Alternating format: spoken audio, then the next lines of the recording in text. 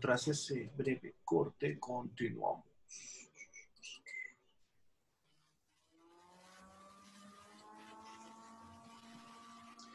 Bueno, entonces hay cumarinas diméricas como el dicumarol y la quelina. Este, esta es la ruta biosintética de algunas cumarinas. Este, por ejemplo, aquí es donde termina la angelicina, la jantelicina, jantiletina, el, el soraleno y entre otras. de las cumarinas en general. No les voy a preguntar eso. No a ustedes. No es Ah, no, sí son farmas, ¿verdad? Sí, cierto, sí tienen que saber un poco de fitoquímica. Sí tienen que saber un poco de fitoquímica. Estaría bien que les preguntara rutas metabólicas. No sea diabólico, Pérez, todavía no. Bueno, ya, seguimos. Antecedentes ya para la síntesis. La presencia de ácidos en el medio acuoso proporciona una fuente normalmente de protones, ya que este, pues, los ácidos se hacen, hacen eso, donan protones iba a dar una explicación más redundante, pero no, qué chivas. También proporcionan un potencial reductor, es decir, en presencia de ácidos, en presencia de ácidos es más factible que se lleve a cabo, que pase de la, del, hierro 3 hacia el hierro 2, es mucho más factible en presencia de ácidos. Eso sí tomen en cuenta cuando vean este, algunas reacciones de, ese tipo. También este, son... También proporcionan un potencial de deshidratación importante cuando se va a llevar a cabo una condensación aldólica, cetólica, este, alcohol con ácido, etcétera, de preferencia que sea en medio ácido. Eso favorece mucho la deshidratación. Y entre menores el pKa, mayor es este, el potencial de deshidratación que presenta. Quien presenta, digamos que el, que se usa por excelencia es el ácido sulfúrico, cuyo pK es de, es de, el primer, tiene dos pKs el ácido sulfúrico, porque tiene dos protones, pero el primer protón lo pierde a menos 6.62 de pH, el otro lo pierde a 1.99. Si se acuerdan que les, habíamos les había hablado de mentiritas blancas, como que el pH va de 0 a 14 y eso. Y después les dije que pH es negativos. Bueno, el ácido sulfúrico pierde su protón en un pH negativo. ¿Qué, qué haces? ¿Qué haces? En un pH negativo de menos 6.62, el ácido fosfórico, todos sus protones los pierden en pHs positivos, por lo tanto no es tan útil. El ácido clorhídrico, aunque tiene un, un pKa más bajo que el ácido sulfúrico, debemos recordar que el ácido sulfúrico no es un gas, el ácido clorhídrico sí. Entonces, el ácido clorhídrico que se trabaja normalmente en el laboratorio no es el gas, sino es una solución de dicho gas una, solución al 34, 36, 37% cuando mucho, este por ciento de peso. Lo mismo pasa con el ácido fluorhídrico. Este también es un gas, pero también su, P, su pK no da mucho que desear. El ácido nítrico, aunque también nos puede servir porque si es un líquido, tiene un pK de menos 2, por lo tanto el ácido sulfúrico lo sigue ganando. El ácido perclórico, ya vemos que su pK es mucho más este, negativo. Entonces, este, nos puede servir más en una reacción. Si ustedes van a trabajar en una reacción y no les sirve el ácido sulfúrico por X o Y, o razón, pueden trabajar con ácido perclórico este, para realizarla. O, bueno, el ácido este, también tiene el problema de que se volatiliza muy fácilmente, hay que trabajar en solución, por lo tanto no sirve. El ácido yodoso, olvídenlo, su pecan. Gracias por participar, ¿no? Pero el ácido, el ácido fluorosulfónico también nos puede servir, que tiene un pK de menos 10. Este, este nada más tiene un, nada más tiene un, un protón para, para ceder y su protón no pierde un pH de menos 10. Entonces, ahí para cuando tengan que hacer alguna deshidratación o algo así, ahí ya, ya saben qué hacer. Este, bueno, como antecedentes también vamos a ver la reacción de Perkin, que es una condensación que se da entre un aldehído y un anhídrido carbónico. Entonces, por ejemplo, aquí vemos, ah, bueno, perdón, esta reacción también se, cataliza en un medio ácido, este es ácido acético en el medio en el que se cataliza, y aquí tienes tu lindo benzaldehído, este lindo compuesto sólido, color amarillento pálido, que huele a almendras muy dulces. Este, ay, que esa cochinada me encanta cómo huele. Pero bueno, entonces este, condensa, llevando a cabo esta, esta reacción así. y aquí la vemos, y al final este, ese es el resultado. En, en, este caso, entonces, este, bueno, esta es la, la, reacción que se da en ausencia de agua. Ya si el agua actúa como catalizador, el agua va, va a realizar la hidrólisis y entonces este grupo se separa y ahora me quedo con esta cadena, que es lo que vemos aquí. Bueno, esa es la reacción de Perkin, que es pariente de la de Pitchman. La de Pitchman es un poquito más reciente esta reacción y consiste en hacer lo mismo, una condensación, pero en esta se, hace una condensación de un alcohol con un ácido carboxílico. Mm, no sé si hicieron la condensación de este, para formar el olor a plátano, que es con, con este isopentanol. ¿No, no le hicieron esa? No. no. No. Por eso digo que no importa. Es que el, ácido acético con el, con el isopentanol condensan y forman este, ¿qué? este acetato de, pental, de pentanilo, creo que acetato de pentanilo, se llama el compuesto, y es el que huele a plátano, pero no el plátano al que están acostumbrados, sino el plátano, el plátano de una variedad que ya está extinta, por cierto, se extinguió en los años 60, esa variedad que se llamaba Grosch Mitchell.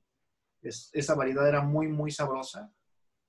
el que se parece un poquito más al Grosch Mitchell es el plátano dominico, el chiquitito este, tanto en sabor como en otra cosa. El plátano tabasco, que es el que se vende comúnmente, no se parece tanto. Pero bueno, entonces es una reacción muy similar de una condensación. Este, nada más que una condensación así de simple se puede hacer en condiciones, pues poco, poco termodinámicamente eh, extremas. Se hacía en una ligera ebullición de media hora, una hora y ya se llevaba a cabo. Mientras que, por ejemplo, esta condensación de fenol con, el, con la etilacetona requiere temperaturas de aproximadamente 130 grados centígrados este, y presencia de, agentes deshidratantes gran, este, este, ¿cómo se llama? Agentes deshidratantes mm, severos, como lo es el cloro de aluminio. Sí, cierto, todas las sales que son este, insolubles normalmente sirven mucho como, como agentes deshidratantes también, pero no, no facilitan la deshidratación, sino que atrapan el agua y la dejan indisponible para que lleve a cabo la deshidratación, que no es lo mismo que facilitar la, de, la deshidratación. Este, los ácidos sí permiten la deshidratación. Las sales insolubles secuestran el agua. Tales sales como por ejemplo el cloro de calcio, el cloro de aluminio, este, no sé, el fluoruro de magnesio, el carbonato. Si no te estorba el carbonato en tu reacción, también lo puedes utilizar, etcétera. Bueno, entonces, eh, vean que está a 130 grados centígrados. Entonces, aquí no, no esto no es, un reflujo con agua, eh, ni, ni, un solvente ligero, sino que tienes que usar este, prácticamente hidrocarburos pesados o un aceite para que se pueda llevar a cabo esto, o en microondas completamente. Pero bueno, entonces se da la condensación, se forma la ciclización y ella se forma la cumarina, como logran ver.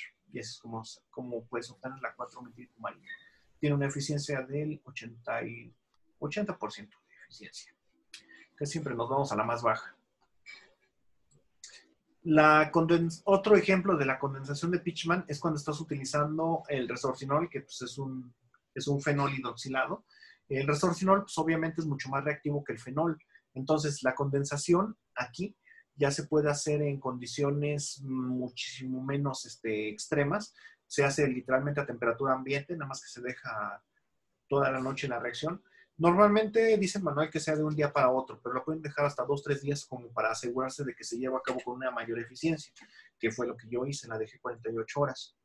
Este, y bueno, entonces así es como se, se da la condensación para formar la 7-hidroximetilcumarina. Otro ejemplo de, de, esta condensación es este, la, la síntesis de la umbeliferona. Ya la pronuncié como 10 veces en lo que va del lo que va del día y también no puedo pronunciarla. Este, bueno, entonces nuevamente aquí es con ácido malónico. El ácido malónico es menos reactivo. Este, y bueno, se, este, se hace en presencia de ácido formilacético y ya se da la condensación y ya se forma la beferona. Pero vean que también su, su eficiencia es menor al 50%. También hay que purificar esto.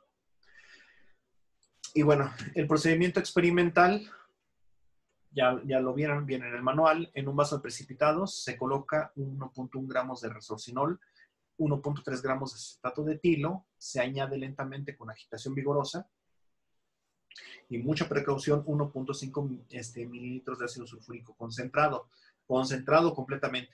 Si tiene agua no se llama como una reacción. Entonces, eh, la gente, el ácido sulfúrico, como les había dicho, es uno de los mejores agentes deshidratantes. De hecho, cuando trabajan con, ¿cómo se llaman? Se me fue el nombre de los deshidratados, los, donde se mantienen los, los productos deshidratados en el laboratorio, en un... ¿Desecador? Un desecador, gracias.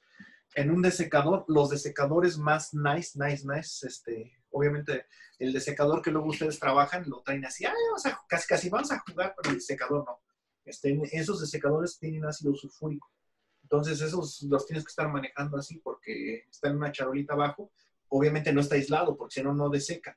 Pero el ácido sulfúrico es el mejor agente desecante y en algunas industrias se utiliza precisamente por eso, para productos que son muy, muy delicados.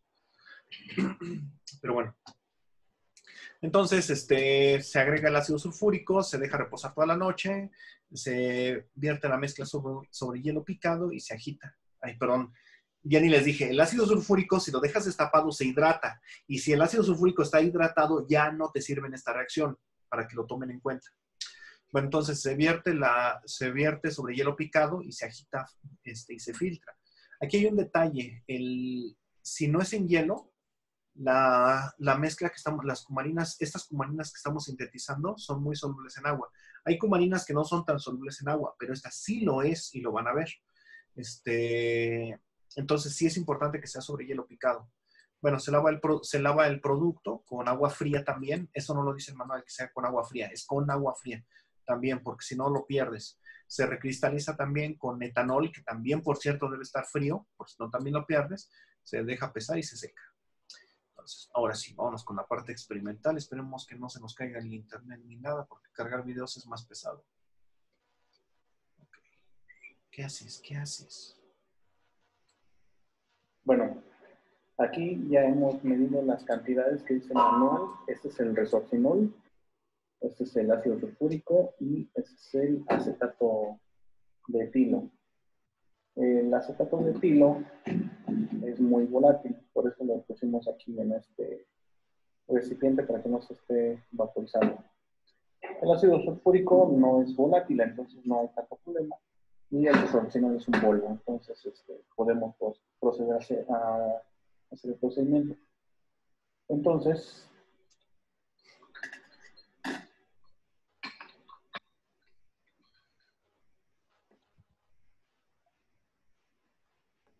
vamos a mezclar el resorcinol con el acetato.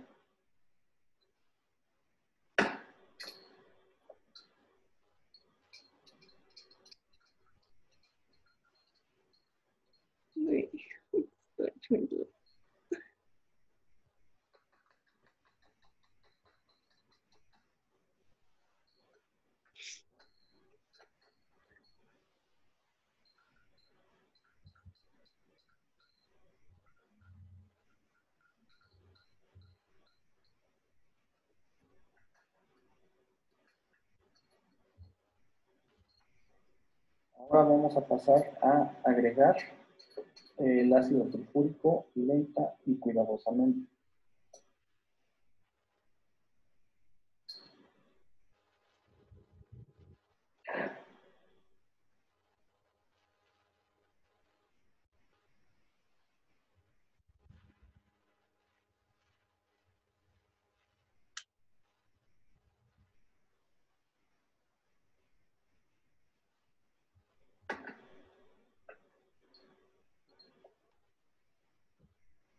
Vemos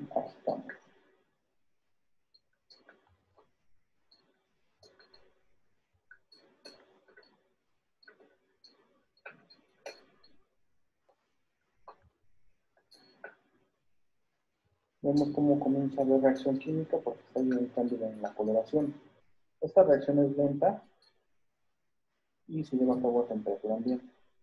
Entonces, para eso la vamos, vamos a dejar, como dice el manual, toda la noche.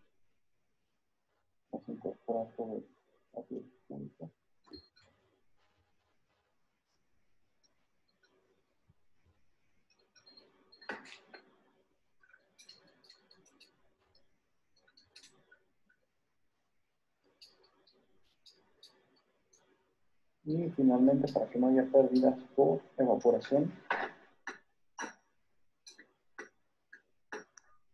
lo vamos a poner en el mismo dispositivo donde habíamos puesto el, el acetato de filo.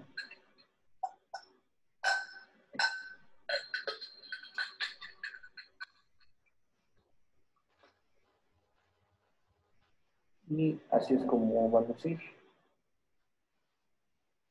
Finalmente. Entonces, vamos a dejarlo reposar de acuerdo al manual y vamos a, a continuar mañana.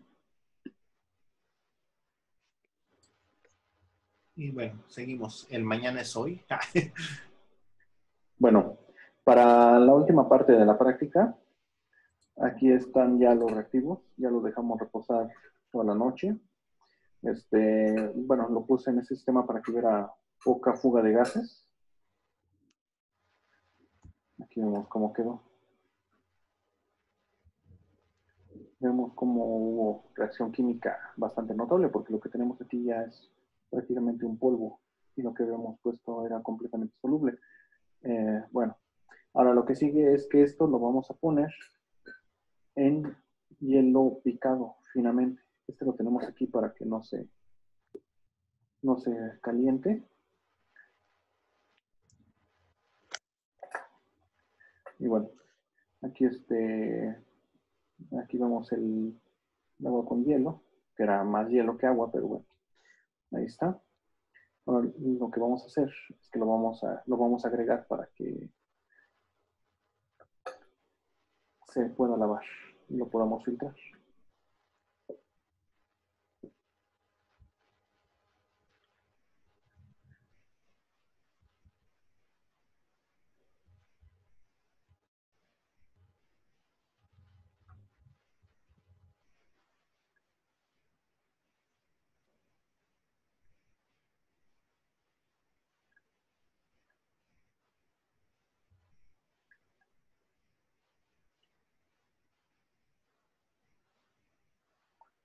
Tiene una textura pastosa, es una pasta. Entonces hay que removerla.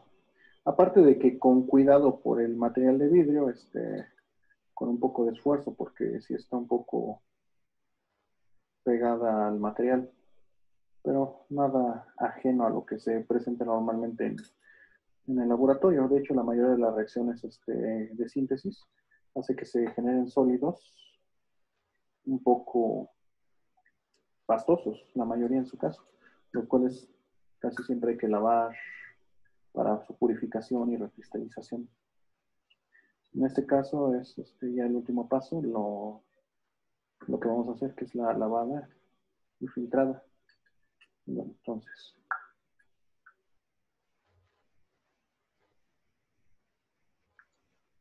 aquí vemos que no es completamente soluble, ahí está este, una, parte que no es completamente soluble. Y eso es bueno porque significa que sí va a quedar en el papel filtro. Si, no, este, si, sea, si es completamente soluble lo que estamos haciendo, se va a perder en el papel filtro.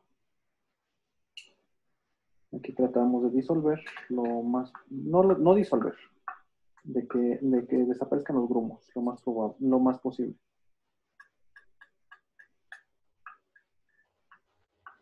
Porque cualquier grumo que quede así, este, significa que no va a ser, no va a ser este, lavado ese grumo, entonces va a ser un problema al momento de, de realizar la purificación. vamos a tenerlo contaminado. Sobre todo el resorcinol es el que es más soluble, entonces ese es el que se elimina más fácilmente en los lavados.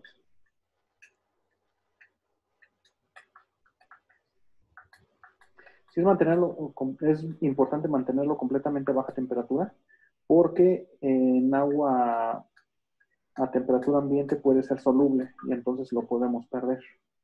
Pues es importante.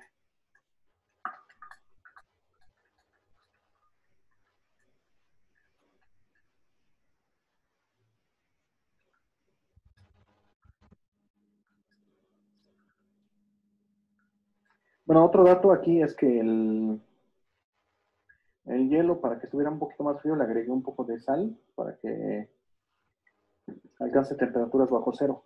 Porque si no, nada más tendríamos una temperatura entre 0 y 4 grados. Así por lo menos ya, ya garantizamos que tenemos por lo menos unos menos, menos 4, menos 8 grados para que no sea soluble el, el producto.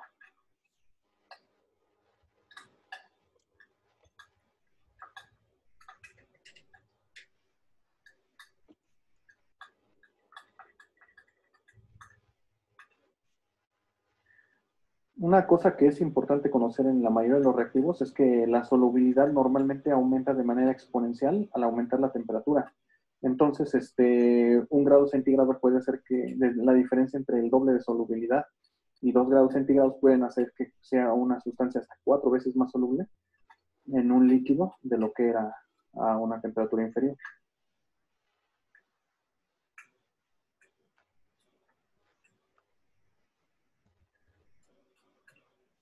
No es válido, obviamente, para, ni, ni siquiera para todas las sales inorgánicas, ni tampoco para todos los compuestos orgánicos. Pero sí es una regla muy conservada la de la solubilidad. Entonces ahora vamos a filtrar. Y aquí tenemos el papel filtro, previamente humedecido en el embudo.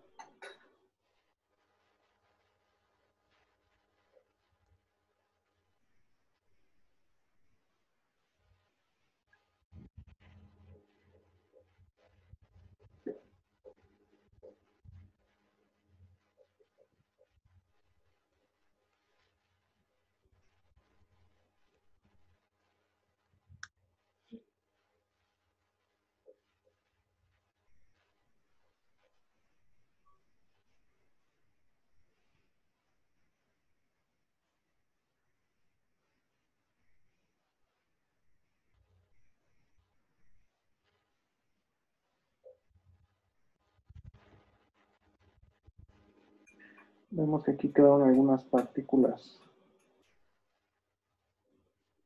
que no se pudieron disolver. Bueno, más bien no se pudieron disgregar. Vamos a intentarlas disgregar un poquito manualmente.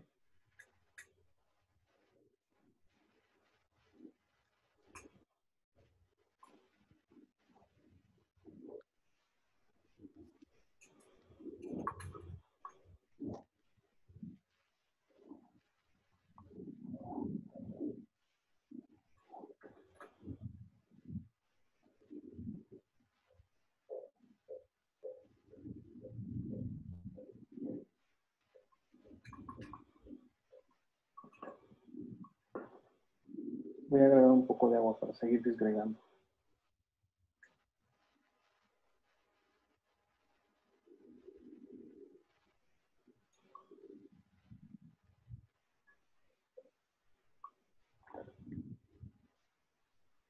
Mientras sigue filtrándose el resto. Vemos que aquí, como es agua a temperatura ambiente, como es agua a temperatura ambiente, aquí sí se está solubilizando. Realmente hubiéramos perdido todo el producto si hubiéramos agregado agua a temperatura ambiente. Aquí sí se está haciendo completamente soluble. Entonces, para evitar las pérdidas,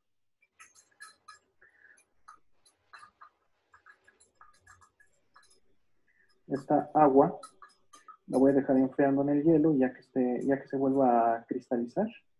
La voy a, la voy a poner este, ahí en el papel filtro. Pero vean cómo completamente se hizo soluble la, la mezcla. Lo hubiéramos perdido completamente si la hubieran puesto, a temperatura ambiente. Eso es importante antes de filtrar.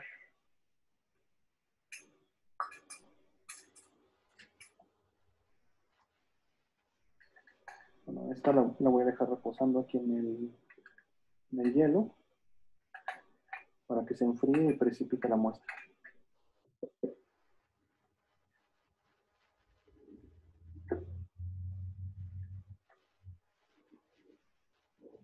Mientras el resto de la mezcla se sigue filtrando y ahorita que se filtre completamente, agregaré el, el resto para continuar con la práctica.